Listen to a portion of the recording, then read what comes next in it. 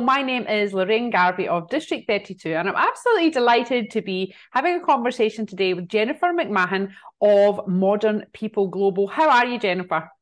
Oh, very well. How are you? I'm really well, thank you.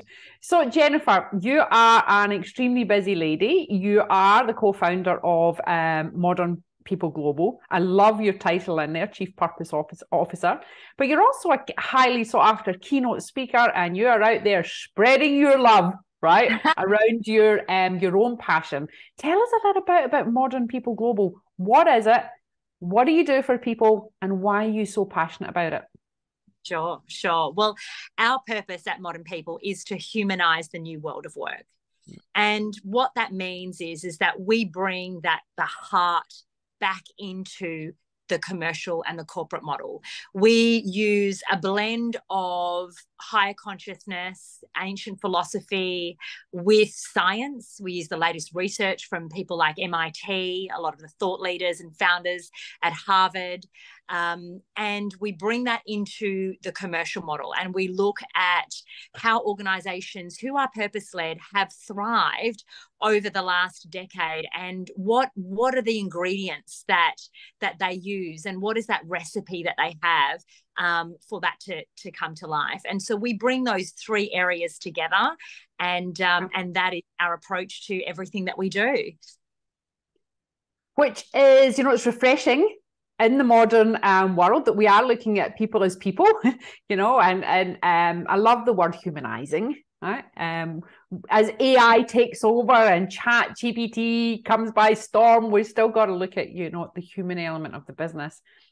Absolutely, and we use a lot of AI in our business um, mm. ourselves we love tech you know we we um, as part of our social impact initiatives we um, we sponsor startups. We have an innovation community which we champion. We've actually got a, mm. another night on Tuesday. So we love tech and innovation, but behind every piece of tech is still a human being, and mm. those human beings have emotions and they have wants and needs and passions and they have feelings and to to say that that exists independently of their work is really a mindset of, of the past. And so we want to bring that humanity back into everything that we're doing. You know, what is it that lights you up? What is it that brings you joy? And what really brings us joy and fulfillment, as we know, is that contribution and that service to, mm-hmm. to humanity and the planet. How do you feel? What do you feel as if the you know, I, I realize that as individuals and as individual human beings, you know, our world is different we all see mm. different perspectives of the world generally because of you know what's happening in our own world. So if these are our thoughts opinions perspectives that's what we see out there. So i've got my opinion on the uptake of humanizing the business you know from my perspective. But from your perspective when you're working in that area do you see a massive uprising? Or is it a slow steady you know climb with regards to people getting on board and trying to work more you know, with, with people and work on culture and values and meaning. Do you, where, where yes. do you sit on that? Yeah, there has been a planetary consciousness shift mm. happening for uh, the past 10 years, the past decade. But what we have seen is that the pandemic and COVID has accelerated that shift wow. because when uh, our control was taken away from us and when fear took over uh, we went back to our core values. And that's what we do in times of, of times of uncertainty, um, ambiguity, in in those times in those VUCA times we we go back to our core values and we go back to well, what are those things that that we truly believe and that we live by and what really matters to us? And so then people were because when you're on that that wheel that um, that hamster wheel of of life particularly um, you know if you're in a business you're working for a business you are you know you you get on that that wheel of being busy and just you know constantly not feeling that that time scarcity feeling oh, there's not enough hours in the day yeah. yeah. is very much a scarce mindset you know when when really you know as human beings we are here and we are built to love and to belong and to contribute and to be of service and to feel energy and to give energy and that is why we're here and we we everything we have, we already know it's within us, but we forget that when we're on things like the hamster wheel and when we're going from the day to day and kids and clients and and business and making you know enough money this month and those mm. sorts of things they just they hold us back from from our true self our higher self and our real reason for being and so what we find is that things like the pandemic it brings us back to to reality but grounds us and so now the conversations that we have i mean we um we started modern people three months before the pandemic hit. And wow. um and for that sort of first six to 12 months you know it was a, a, a, lot of the conversations we had were people saying so sorry what is it that you do again? What uh, uh, uh so yeah i kind of get that but but so can you explain that to me again? What is it? Whereas now when we interact you know companies are coming to us and saying hey we need help with our ESG or our net positive strategy. Can you help us? Hey, we need help with strategic planning. We don't feel like we've got a process, but we don't feel like it's the best it can be. Can you help us so we can be a, a, a better business, a business which does care for people and planet? Can you help us with our strategic planning? Can you help us with our leadership? You know, we've got a few leaders that feel really stuck um, or that are, are not buying into our future vision? Can you help us to try and evolve some mindsets? And so, you know, it, now it's people are, are coming to us saying, okay, we've identified these gaps and these needs and we need help because because of that planetary consciousness shift that's been happening.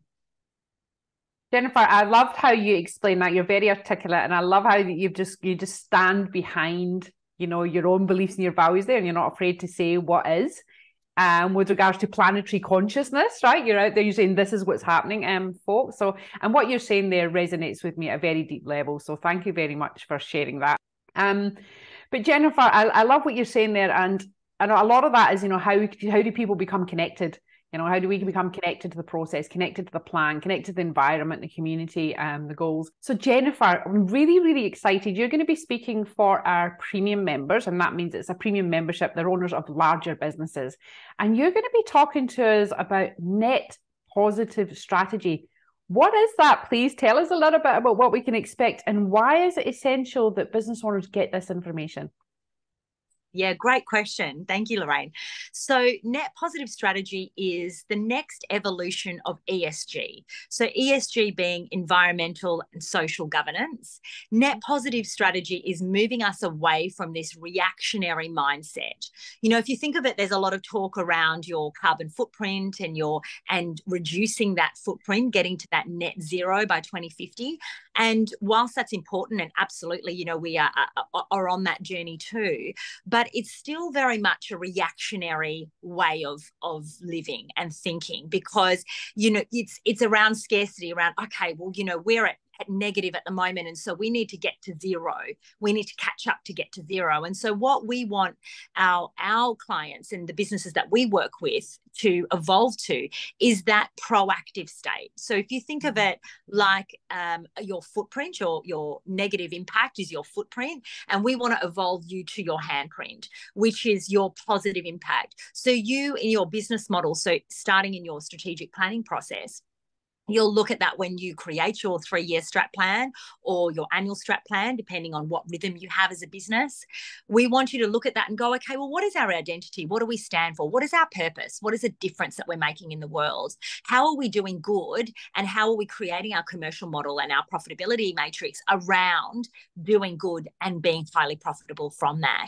And how can we then evolve that into our strategic planning process so that we everything we do has a positive impact?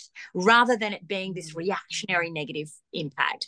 So it's around your planetary consciousness, it's around your people, both your internal people, your team, your employees, and externally, your customers or your clients. So it's about their experience and journey, and then going down your supply chain, looking at your supply chain. So every single value chain that you have within your business, it's looking at that from this positive impact mindset and this handprint of how are we creating value? How are we adding value? How we what is that equal value exchange? And how are we conscious of our people and our planetary or our humanitarian and our planetary impact? Wow. I'm very excited to hear um, that topic myself. And I'm also thinking there in the background, I'm going to have to employ this lady somehow to be at all the events.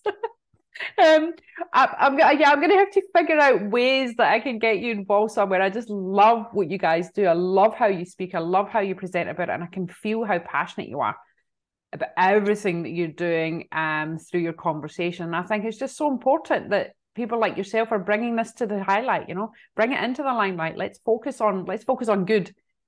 Yes, absolutely. Um. Mm. we you know we, we we love that aspirational state and we love that but we're very practical you know yeah. so yeah. we can be realized i mean for me unless i can see it happening unless i can personally enact it myself and do it myself in the company then it's not real so yeah. you know i think of that well if i feel like that then surely other business owners must feel like that as well because it's all well and good to have these great inspirational um, taglines and these visions and these goals but if we can't actually do that and your people can't connect to it and say yeah. yes every day i come to work and i do this and i know that the greater impact of this is that and and they can actually quantify it then they're never going to connect to it you know th- th- we yeah. get asked by owners all the time you know jen how do we get our people to buy in to this strategy or buy into our vision and the only way you can do that is when they can connect themselves their own values their purpose their heart with that greater impact and that's what net, net positive strategy allows you to do wow Jennifer, thank you very much. I'm very excited to hear you present, and I'm looking forward to getting involved with you guys at some some level or other. Wonderful. Thank you Jennifer, so much. Thank you really very much. I'll see you at the event. Thank you. Bye bye.